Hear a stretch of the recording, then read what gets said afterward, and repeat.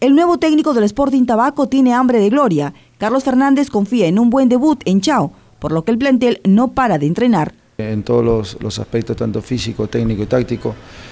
Como estoy bien cierto tú, Karina, me ha seguido mi carrera también de un inicio. A mí me gustan mis equipos que presionen mucho. Todos mis, equipos que, presionen mucho, que tengan un orden, pero para presionar y hacer un pressing tienes que tener, físicamente tienes que estar bien. Hemos estado juntamente con Ítalo intentando que los chicos cada día mejoren la parte física.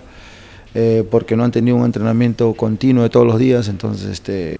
Fernández es consciente del partido que enfrenta Tabaco este domingo y confía en el grupo que cuenta. Claro, claro, con, también respetando al rival. Nosotros sabemos que Chavo está eliminado, tiene cero puntos, pero en esto del fútbol es tan impredecible que, a veces los resultados no. Este, el, equipo que tú piensas que está ya eliminado o, está ya desechado, te sale y te juega un partido por, su dignidad, como es, como es comprensible. ¿no? Entonces nosotros vamos a intentar allá de ir a buscar el partido como. Sporting Tabaco a pocas horas del partido está inspirado en este duelo en Chao. Todo el plantel sueña con la clasificación. El técnico asegura que el ambiente es diferente en el Valle. Es eh, otra historia, otro ambiente en el, en el Sporting Tabaco que no se daba hace años. Sí, yo le decía a tu colega, después de mucho tiempo vuelvo a sentir esa sensación de la barra.